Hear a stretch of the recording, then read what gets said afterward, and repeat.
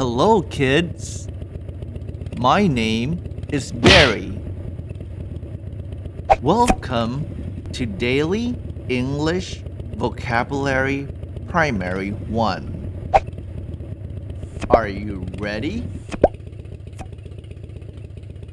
Let's go.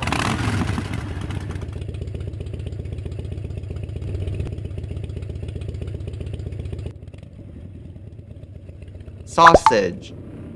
I have a sausage for breakfast. I have a sausage for breakfast. Chicken. The chicken tastes delicious. The chicken tastes delicious.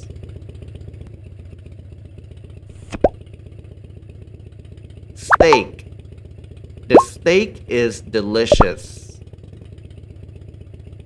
The steak is delicious.